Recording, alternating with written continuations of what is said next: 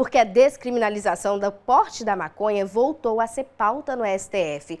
Uma pesquisa do Datafolha mostra que 76% dos brasileiros aprovam o uso da maconha para os fins medicinais. A planta pode ser utilizada para o tratamento de patologias como epilepsia, Alzheimer, mal de Parkinson, esclerose múltipla, entre outras doenças. A gente vai conferir um pouquinho dessa discussão na matéria de agora.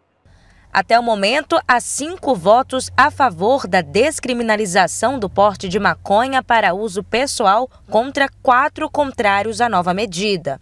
O último voto foi do ministro Dias Toffoli, do STF, que se posicionou contra.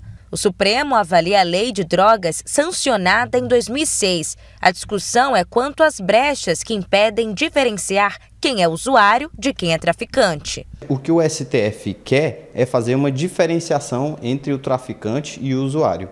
Tanto é que o julgamento ainda no STF não se encerrou.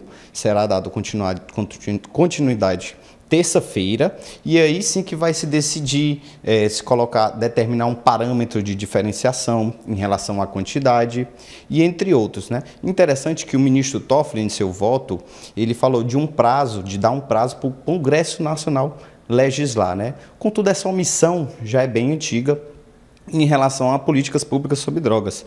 E a gente tem que ter em mente que hoje, é, é, a nível internacional, é, está se caminhando para a descriminalização, por, por, novas políticas públicas de drogas não voltadas né, ao encarceramento, que hoje em dia, é, digamos assim, seleciona mais pessoas vulneráveis, que estão mais é, na periferia, que não tem uma ocupação lícita, não tem como comprovar, digamos assim, uma renda e acaba sendo confundido, às vezes, por pequenas quantidades como um traficante. A recente pesquisa do Datafolha mostra que 76% dos brasileiros aprovam o uso de cannabis para fins medicinais.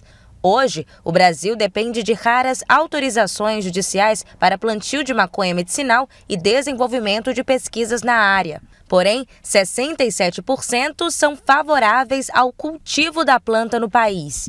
Em Teresina, um projeto de lei que permite a distribuição de medicamentos à base de cannabis já foi aprovado e sancionado. É um tema muito polêmico, né? E às vezes as pessoas querem é, associar o uso da medicação ao uso recreativo. E a gente, nas audiências, no depoimento de mães falando que, a, que começou a ter vida depois dos filhos usarem a medicação, a gente que é mãe se sensibiliza com casa e aí vamos para trás de tentar resolver a situação, que foi a aprovação do projeto, que foi a nossa primeira etapa do projeto, né?